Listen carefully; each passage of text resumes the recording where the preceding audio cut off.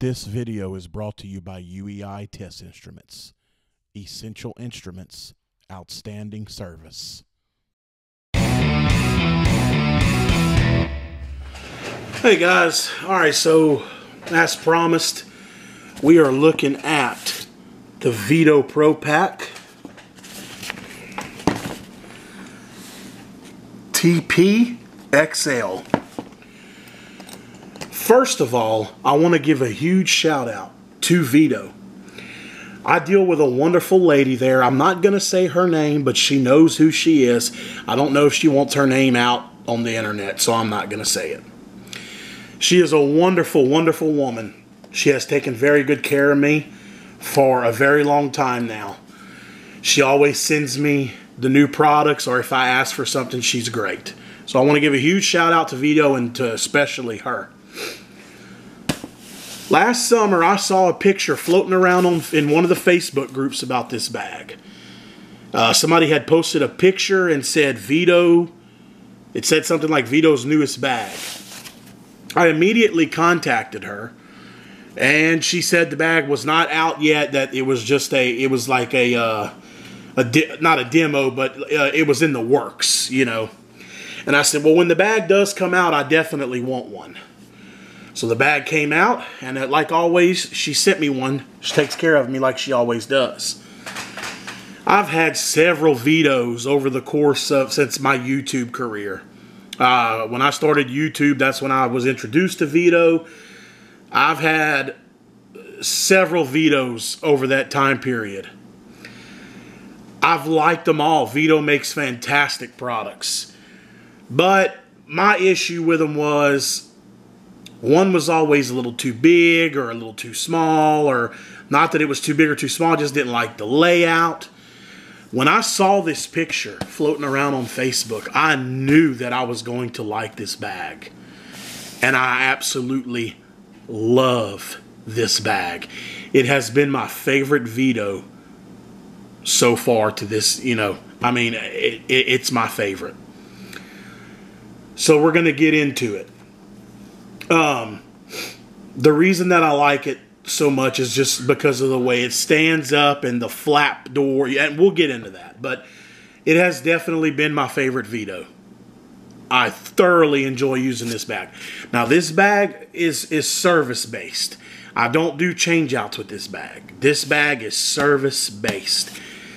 So you're starting off, you've got a nice big shoulder strap here that goes up. This looks like a tape clip. Uh, I'm pretty sure that's what that is, but I don't put it here. My tape is usually over here with my electrical tape, but it's not there right now. But that's usually where it's at. So we'll start on the outside. I have a thermos, a multi-thermostat screwdriver. I'm not going to pull all my tools out. And, you know, a couple long 6-inch quarter and 5 16 and then I have the medium reversible. I need to get the uh, 6 inch reversible. My meter hangs on the side with a D-ring because that's just the way that I like it. And with this bag, if it really doesn't have room to stuff a meter in it, which is absolutely fine with me. So, you've got two zippers, one here and one here. And then this Velcro flips up. This is why I like this bag so much, is because of just the way it sits and you can see your tools. You have pockets here, down in here. That's where I keep, uh, we have a lot of locking caps in the area. So this is a multi locking cap tool. The extra caps are down in here. And that's where I keep my multi-stubby. I've got jumpers in here. Uh, uh, low voltage short tester tool in here, the Shark Pro tool. And so you got pockets here, two pockets here, and then down in here. And then just, I mean, look, I mean, my, my drill goes right in there. I've got my zip ties that I keep and you know just basic service stuff i'm actually missing a tool now that i look in here Oh yeah, I know where it's at. So right here, I normally have my HVAC 8 and 1 from Klein. This is a reversible 5 16ths. You flip it around, it's quarter. And uh, wet bulb thermometer, strippers, needle nose, side cutters, crimpers, an 1132nd uh, nut driver for condenser fan motors, a pair of channel locks, uh, crescent wrench. I highly recommend this crescent wrench. This is an 8 inch crescent, but this thing opens up extremely wide. I mean, look at that. You can open up an inch and an eighth service valve or a 7 8 service valve, no problem with this little wrench. So I keep that in there. Yeah, so you got pockets on the side. That's where the wrench goes. Got a service tool just sitting in there. Um, two pockets on the side. And up here, I keep my Nylog. But you can put other stuff up here. And it also has a hook in here. If you, you know, let me see. There's the hook. Like if you're going up some stairs and you need to hang the bag. Now look guys, just because this is the way I lay my bag out doesn't mean you have to lay your bag out like this. This is just the way that I prefer to lay my bag out. Not saying that you have to lay yours out this way. There are so many different ways you can lay this bag out, it's not even funny. So, like you take you take the next part that I'm about to show you. You know, I've seen uh, NorCal Dave, he did his a little different and that's fine. But this is the way I prefer to do mine. So up here, up at the top here on the flapper, you know, you, you open it, and right here you have a zipper. Now, NorCal Dave, he kept a small parts dish in here. I keep my core tool in there and some extra Schraders and stuff like that. That's just what I prefer, okay? So we'll flip that down. We'll spin it around. And this is the back side of the bag. Okay? So you've got this, and then you open that up, and you have another large pocket right here. Now, NorCal Dave would keep his iPad back here, and that would be great. But I keep my two stub gauges, my low pressure stub gauge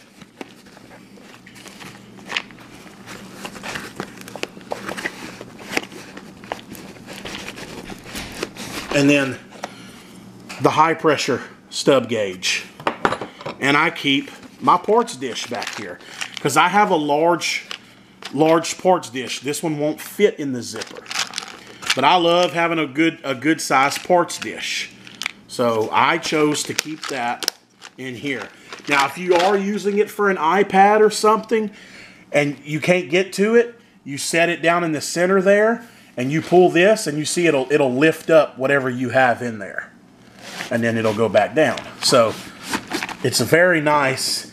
And then I take my one stub gauge and I drop it down low in there. And then this one I kind of just you know finagle it in there. And then velcro it back. And that's how I like to do the back of mine. You have electrical tape clip. And again, this is where I normally keep my tape, my measuring tape, but it's not there right now. And you, and you have more pockets here that I'm not even using because again, I'm keeping this bag very simple, very basic for service. More pockets here, another tape clip here if you choose. There's another uh, tape clip, and again, there's a tape clip here, but I would never keep a tape here. And uh, oh, and I forgot, you got a very nice handle. You know, uh, really sturdy handle. It's it's not a heavy bag at all, which is which I really like. Um, but this is it, to me, it's just something about setting my bag down and see the other Vetos.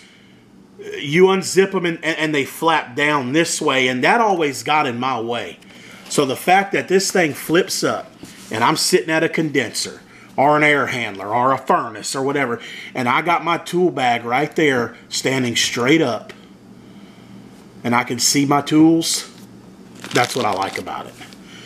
The the the smaller Milwaukee fits in here perfect. This is the small, the new M12 uh, impact driver fits right in there perfect. Again, I could fit many more hand tools in here, but I choose not to because I ke- I choose to keep my little M12 right here. So, again, there's many ways you can lay this bag out, but this is the way that I choose to do it. And I've got my service tool just laying right there, and that's it. I flip her down. She velcros. A zipper there. And a zipper there. Well, guys, I think that's about it. I really hope uh, that was a help and you enjoy the video. I love this bag. It's, it's, I knew when I saw the pictures I was going to like this bag. You have all the durability of a normal Veto. Uh, it does have the, the plastic bottom. That is there. There is only, I really don't, the only, I guess, and to me it's not a negative because it, it, could be like this with any bag. But I guess somebody's going to say, God, you didn't have anything negative to say. Again, not really negative, but if you wanted to classify it as negative, this bag will tip over relatively easy. Okay? It, it, now, if you're on level, like it is right here, it won't. So, as long as you're on solid ground. But if, if the ground is a little off level, it will tumble over relatively easy, especially when you have the flapper open. I did notice that. But I can always find me a nice level spot, or once I flip it up, I lean it against the unit or against the wall of the house or something. Definitely not a deal breaker for me. But if you had to classify some kind of negative, it does tip over relatively easy. Other than that, I have no complaints. Anyway, thank you again to Veto ProPac. Huge shout out. And a huge shout out to the young lady that takes such good care of me. I would love to say her name, but I don't know how she would feel about that, so I'm not going to say it. Um, but you, I know you're watching this video, and I know that you know you know who you are. Again, thank you so much for being so good to me. She actually sent me something else, and we're going to share that in a different video. So thank you so much, Veto, and to the young lady that takes care of me. Uh, guys, look, I recommend this tool bag 110%.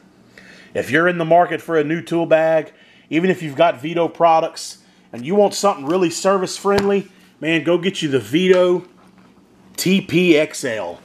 It's, it, it, it is. I've been using this bag for I don't know. It's been uh, a, a, about two, three weeks now, maybe, maybe longer since she sent it to me and I am just in love. I really like it. Thank you again. Thank you all for watching. Check out Veto Pro Pacs, and uh, we'll see you guys on the next one.